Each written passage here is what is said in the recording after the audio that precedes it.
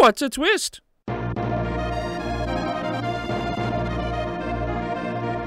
Last Night in Soho is about Ellie, a young woman with aspirations of becoming a fashion designer with a focus on 60s aesthetic. After traveling for college to London, Ellie moves out of her dorm and into a vacant third floor room of an old house. From the first night onward, Ellie has recurring dreams of Sandy. Sandy was a singer with her own aspirations back in the 1960s. Things are not as they seem, though, with the dreams beginning to blend in real life, and Ellie seeing the ghosts of the past all around her as she tries to figure out what happened to Sandy and why the ghosts are haunting her in the present. First things first, the acting and story are fairly solid. The cast across the board all give good performances. Ellie is adorable, Sandy is understandable, and the roommate, you just want to push into oncoming traffic. There is lots of color as well in the fashion of Guillermo del Toro, helping to emphasize mood scene to scene. And despite the numerous dream sequences, there is little in the way of CGI. Holding an almost 9 to 1 ratio, the special effects are often used to enhance visuals in a subtle way that doesn't really interfere with the story at hand.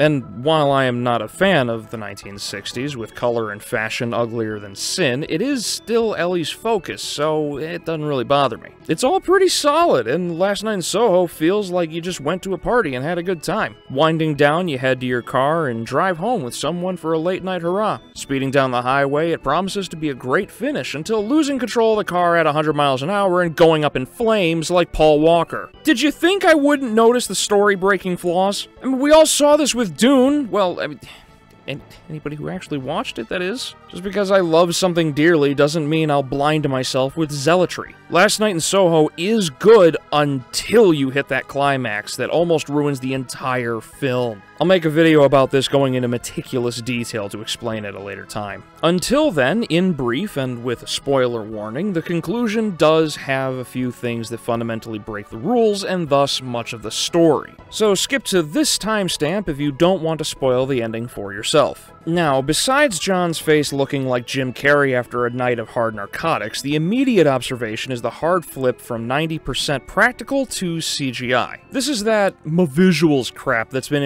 infecting filmmaking for a while now, and here it is no different. The absurd amount of CGI looks like Marvel shoveled it out after cracking whips harder than the Belmonts. Now, the serious issue is that Ellie was following the memory of Sandy and not her ghost the entire time, because Sandy, in fact, is the one who killed all the people who have been haunting Ellie. The fuck is this? The entire premise of this film is based on a lie. Ellie is shown to see ghosts, not memories, from the beginning of the film. So when the big reveal is that Sandy is the old woman Ellie is renting the room from, I just about shit a brick. Immediately, I was filled with more questions than a directionless teenager looking for the meaning in life. This makes no sense. Why would the ghosts not present themselves as the people they were? What purpose does that serve? Well, it's simple, actually. It is one big misdirection to prevent people from figuring out the twist too soon. It's like the director realized halfway through editing the film that it was a good twist with a crap reveal, so he scrambled to hide it and crossed his fingers people love Baby Driver enough to turn a blind eye.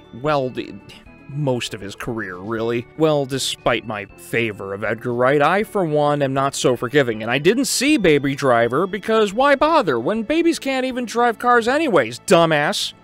So, ha! Chessmate. The issue here is weighing things fairly. If you know me, this goes without saying, but for those who don't, I put a lot of stock in the world of a film or series. Rules, internal consistency, etc., etc. So when an established rule is forgotten or broken, that tends to twist my balls like a back alley masseuse. Unlike Antlers, the story, music, even the twist, it's all solid up to and through most of the third act, but this climax and even that neat bow of an ending are almost what ruins it for me. I do like Last Night in Soho, as the sum of its parts are fine, but the aforementioned reasons are what hold it back to a pretty middling rating. So stay tuned for the long-form breakdown of Last Night in Soho in the near future. Also, please like, share, ring the bell for notifications, and if you want to watch more movie reviews, then subscribe and watch my review of the letdown that was Antlers over there, and I'll see you in the next video.